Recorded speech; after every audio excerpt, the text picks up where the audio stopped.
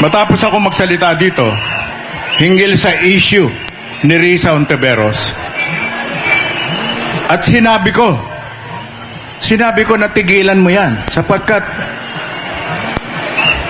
ang iyong sarili ay ihinahain mo para malantad kung sino ka.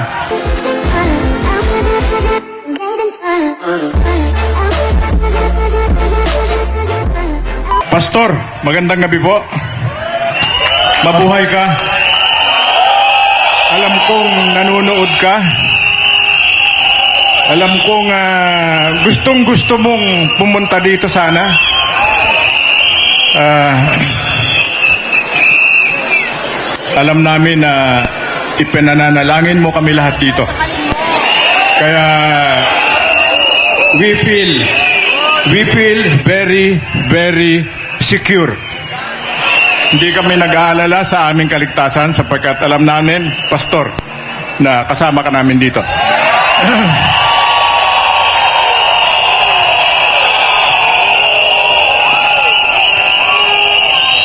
Mabuhay po ang Pilipinas.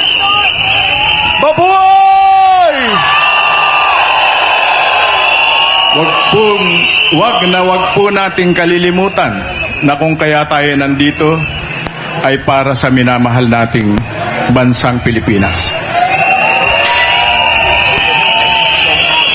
Marami pa rin mga kung ano-anong pinagsususulat yung mga bumabatikos. Lalo na yung mga pumay personal kay Pastor Kibuloy. Hayaan natin sila. Kaya naman tayo nandito, kasama natin si Pastor Kibuloy para sa Bayang Malaya, para sa bansang Pilipinas.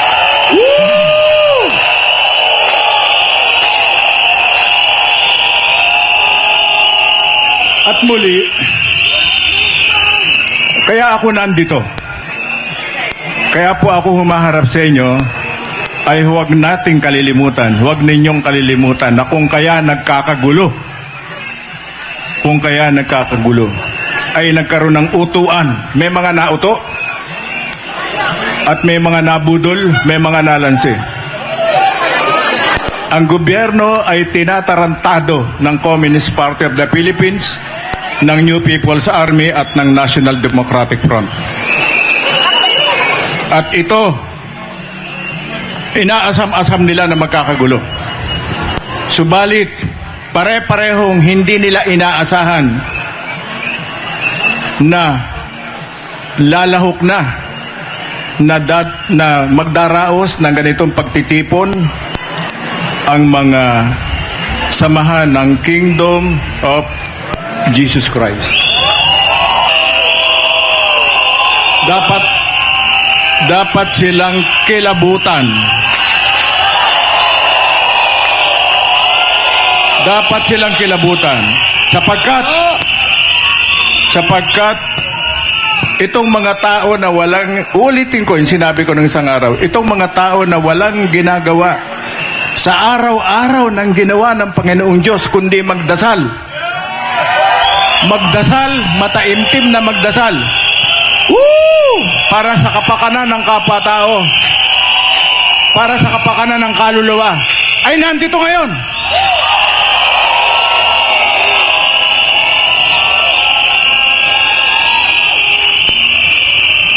Kaya marahil ay nagkakagulo sila. Hindi nila maisip, hindi nila ma-imagine na ang mga kabataang ito kasama ang kanilang mga magulang ay pupunta rito. Nung huling manggaling ako rito, hindi ganito kalaki crowd. Mas madami ngayon. Mag-ingay!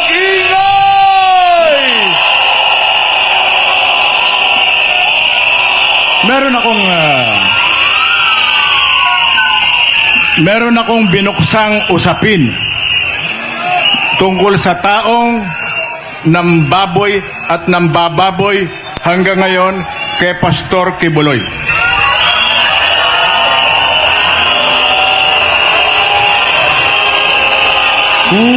Matapos matapos ako magsalita tungkol kay Senator Risa Hontiveros at aking puno na yung kanyang ginawa sa Senado na paglapastangan, paninira, pambababoy, at ang mga testigo ay halatang mga sinungaling sapagkat may mga takip ang muka. Sinungaling!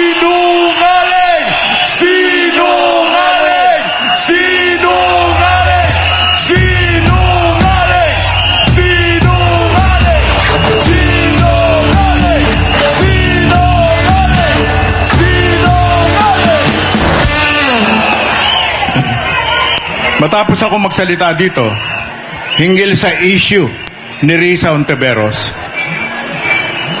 At sinabi ko, sinabi ko na tigilan mo yan sapagkat ang iyong sarili ay ihinahain mo para malantad kung sino ka. Magkakilala kami. Ayaw kong ayaw ko sanang magsalita tungkol dyan sa issue na yan. Subalit, hindi, hindi lang hindi maganda kung hindi dapat mali yung ginawa nila kay Pastor Kibuloy. Tama! Mali. Mali, mali, mali. Yun ang dahilan. Mali. Si Pastor Kibuloy ay kaibigan ng masang Pilipino. Tama! Tama!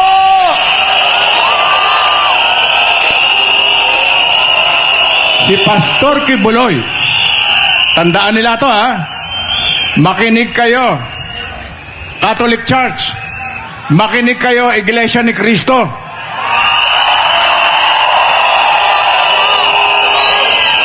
Makinig kayo, lahat ng iba't ibang sekta ng simbahan na walang itinuturo araw-araw kundi magdasal, magdasal, magdasal. Well and good. Subalit, hindi kayo kumibo, hindi kayo lumaban sa pagsasamantala.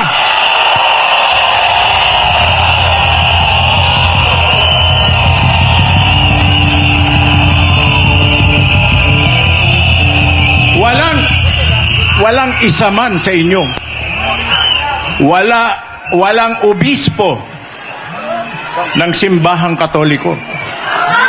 Walang obispo ng iglesia at ng iba't ibang sekta. Ang tumindig at bumatikos sa CPP-NPA.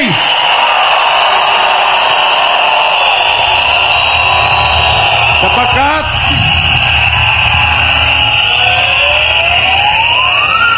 sapagkat sila'y natatakot. Mga takot sila. Ayokong, ayoko silang, ayokong akusahan na sila'y mga duwag. Ayoko. Pero tinitiyak ko natakot sila. Natatakot sila. At tanging si Pastor Kibuloy ang nanguna nagsalita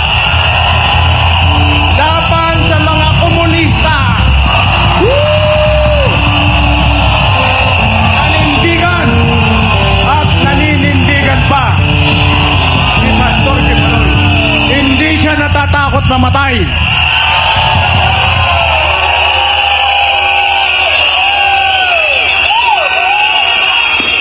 Dahil sa ganyang stand ni Pastor Kibuloy, nung unang magkaharap kami, na nakaramdam ako ng pagmamahal mula sa kanya.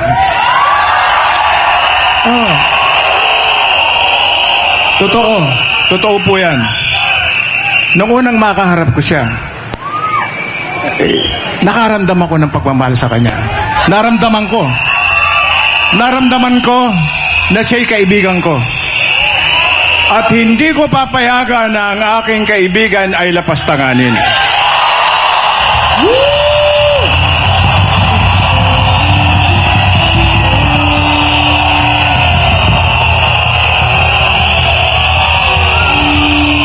Kung natatandaan ninyo, yung mga nandito nung una ako magsalita, I spoke about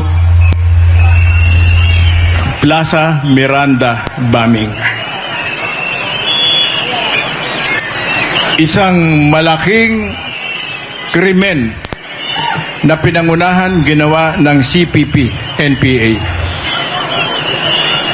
At hindi ko alam. Hindi ko alam. Akala ko talaga ang gumawa nun, ang nag-utos nun ay gobyerno, si Ferdinand Marcos Sr. At sa paniniwala ko at ng marami sa amin, naniwala halos ang mga Pilipino na ang pagbomba sa Plaza Miranda ay kagagawan ng gobyerno ni Marcos. Subalit hindi pala. Let me let me continue. Mahalaga ho ito. Gusto kong maraman ninyo. Gusto kong iparamdam sa inyo kung paano ko tinatrato si Pastor Kibiloy bilang isang kaibigan. Ulitin ko. Si Risa Ontiveros ay kakilala ko. And once upon a time, isang taong kinonsider ko na kaibigan. Hindi malapit na kaibigan, magkakilala kami. Kilalang kilala niya ako at kilala ko siya. Subalit ulitin ko, ang panawagan ko sa kanya, may pagkakataon pa, may panahon pa, Risa. May panahon pa. Itigil mo yan. Itigil mo sapagkat na walang katuturan. Maliwanag. Kitang-kita na kung kaya mo ginagawa yan, ay hindi dahil kung totoo o hindi yung mga chismis na kinakalat mo tungkol kay Pastor Kibuloy. Sapagkat akala mo yun ay popular. Bakit? Sapagkat nangangarap kang at least maging vice presidente.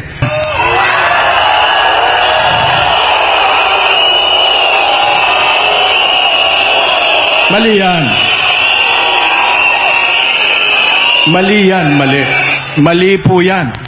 Mali yan. Nasa isang sistemang demokrasya tayo. Gamitin mo. Ikaw naman ay may itsurang babae. Magaling magsalita. Ha? Magaling magsalita. Bakit hindi ka lumaban ng parehas? Meron kang malaking suporta. Ha? Bagamat ako'y nagtataka kung anong magic ang nangyari at nahalal ka na senadora. Samantalang hindi ka naman pumapasok sa mga survey, biglang nung magbotohan, biglang nasa buntot ka na, umaakit-akit ka na ng konti. Si Pastor Kibuloy, ang ginagawa kay Pastor Kibuloy, ang pangyayari sa kanya ay may naalala ko na isang kaibigan ko. Sapagkat ang isa ko pong katangian ay marunong ako magmahal ng kaibigan. Itanong nyo kay Ka Eric. Kami ni Ka Eric ay hindi pa masyadong matagal magkakilala. Sapagkat ang ang pagitan namin sa sa NPA si Ka Eric ang edad ni Ka Eric ay halos anak ko na yan. Kaedad niya yung panganay kong anak na lalaki, yung pinakapanganay ko. Kaya kung si Ka Eric, kung i-address ko yan, kung tawagin ko yan ay bunso. Pati sa text, bunso, nasaan ka na? Kamusta ka na? Are you safe? Bunso. Bilang matalik na kaibigan, uulitin ko, naalala ko ang nangyari sa isang kaibigan ko.